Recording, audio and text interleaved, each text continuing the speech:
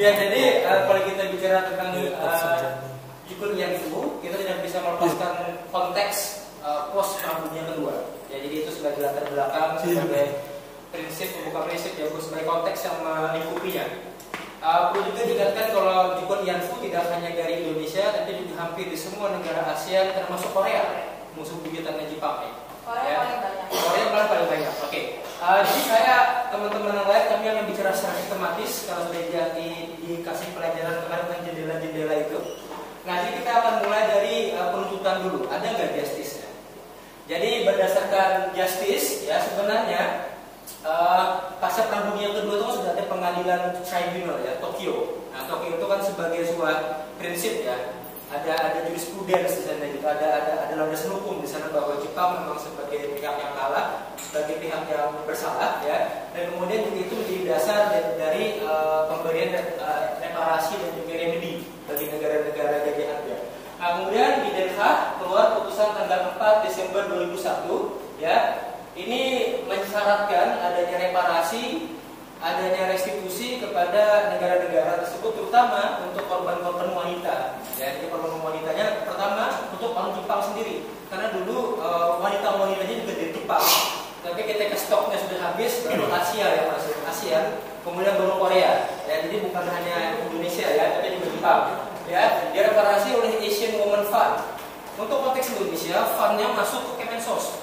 Ya, kalau tidak salah menurut Mbak Google ada 7 miliar Nah, 7 miliar ini kemudian didistribusikan ke beberapa provinsi, lima provinsi, dan menjadi panti jompo. Nah, kita nggak tahu gimana apakah ini efektif atau tidak, itu perlu penelitian lebih dalam lagi. Tetapi ini terkesan uh, Jepang ini terkesan seperti ngasih kompensasi doang. Ini 7 miliar udah jangan musik lagi gua gitu. Selesai. Jadi seolah-olah ini hanya menyelesaikan masalah secara superficial. Jadi di luarnya sudah beres karena sudah ganti uang, tapi kebatinannya belum belum belum terobati gitu. Nah ini juga mungkin yang saya juga googling tadi ini juga mungkin yang uh, membuat Korea itu kurang puas. Kemudian pemerintah Korea bikin patung patung perempuan di Korea. Dan kemudian langsung ditanggapi uh, dengan nada yang agak marah oleh Jepang. Ini Jepang marah nih sama Korea. Jadi bisa dilihat, bisa ditafsirkan bahwa Jepang ini masih merasa setengah hati gitu.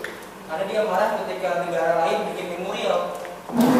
Gitu ya. Jadi terkesan Jepang masih agak sentimen dia nggak mau lagi musik-musik. Kalau udah saya kasih uang jadi kenapa musik lagi? Kesannya seperti yang saya tangkap. Nah kemudian uh, dalam konteks justice ya saya juga ada googling lagi terima kasih lagi Google ya. Kalau RBH Jogja itu pernah uh, menuntut ya menuntut pemerintah Jepang sebesar 5,3 triliun rupiah tapi sampai sekarang nggak ada penyelesaian di mana itu ceritanya? Jadi dalam jendela penuntutan saya rasa belum belum selesai jendela pertama kemudian reparasi juga seperti saya bilang tadi kan uh, itu peruntukannya gimana gitu. Materinya dapat tapi secara batiniahnya bagaimana? Itu itu belum belum kita lakukan gitu. Nah kemudian yang terakhir itu saya rasa satisfactory ya. Kemarin juga Mas uh, Mas Haris bilang tentang satisfactory kepuasan bagaimana negara itu harus mengawal korban gitu.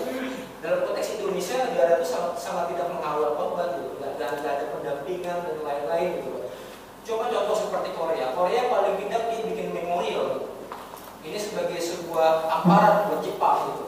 Kita Indonesia nggak ada seperti itu gitu. ya cuek-cuek aja ya yang yang lalu biarlah berlalu membandingkannya dengan Korea betapa Korea sangat punya empati gitu. Korea sangat punya empati terhadap wanita-wanitanya nah ini mungkin yang perlu kita pelajari bersama mungkin kita bisa belajar di Korea bagaimana berempati dengan wanita apa ya. sih gitu.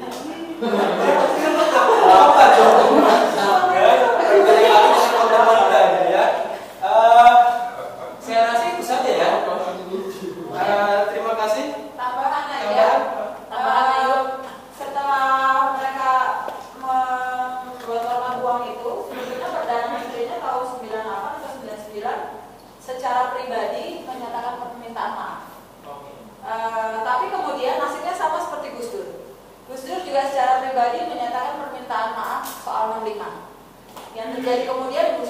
dipecat gitu ya, di impeach. Sama si perdana menteri ini juga gara-gara statementnya dia itu dia di impeach.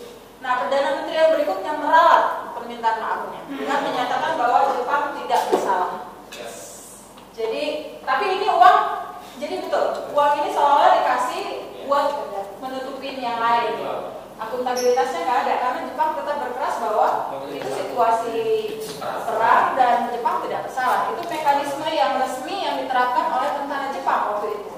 E, untuk apa ya namanya ya karena kan e, mereka berasumsi bahwa tentara itu punya tekanan beban yang berat ketika perang sehingga butuh pelepasan. Karena itulah mereka mereka sih bilangnya membayar padahal kan kasusnya enggak. Di semua kasus itu mereka diculik perempuan-perempuan ini anak-anak ini. Dan tidak dibayar gitu ya.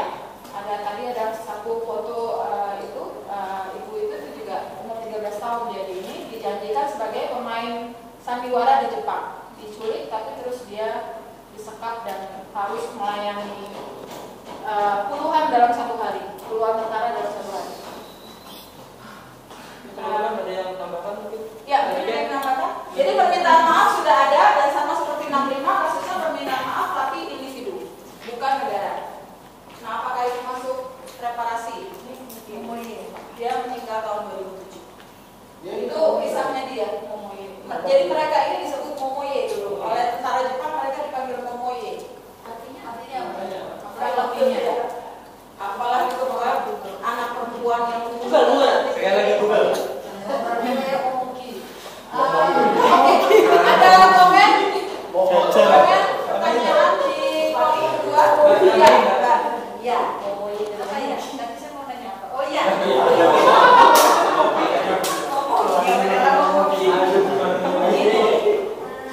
Kalau nggak salah ya, lupa lagi. Lah. Kayaknya kalau bicara, oh ya, balik juga. Iya, iya. terkait dengan ini terlepas Jepang apakah menyatakan permintaan maaf atau tidak, mungkin kami di sini melihat dari sisi bagaimana reparasi itu ke nasional sendiri ke negara Indonesia. Jadi kalau kita melihat secara permukaan saja, reparasi, restitusi, rehabilitasi mungkin sempat uh, bisa tergambarkan simbolik dari pemberian 2 juta sampai 3 juta yang diberikan uh, kepada uh, ini ya walaupun ujung-ujungnya adalah ke uh, panti jompo nggak tepat sasaran. Tapi kan kita bisa melihat ini secara lebih mendasar bahwa bagaimana komitmen dari pemerintah Indonesia untuk mendukung reparasi ini.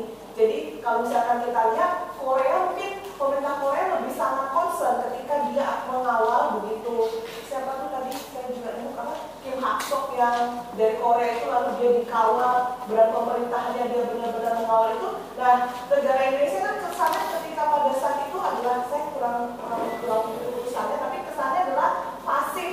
Jadi sama sekali nggak Nah, ada. pasif. Tapi begitu Kim Hak Sok itu di Korea itu mulai rame, lalu yang dari Belanda itu juga rame, tiba-tiba kita seakan-akan kita siap-siap dan begitu ada ada aliran dana kita langsung aktif. Nah, itu kan yang mungkin akan sangat lebih menyakitkan bagi Yudhoyanto. Terus itu yang pertama. Jadi kalau kita lihat secara permukaan mungkin ada, tapi saya akan menggarisbawahi lebih kepada kepuasan, satisfaction, dan keterpulangan. Jadi kalau saya lihat di sini ada satu hal yang akan terkait dengan satisfaction dan repetition, eh, repetition itu yaitu terkait sejarah. Kalau kita melihat di dalam sejarah saya sendiri masih terlihat sekali karena dulu saya senang banget sama sejarah. Itu di Jogot Irianto itu kan kita lebih akan mengenal Irianto itu adalah wanita pemimpin Jepang. Karena apa? Kalau yang pernah saya baca itu rekrutmennya dulu kan mendaftar. Jadi rekrutmennya adalah dulu mendaftar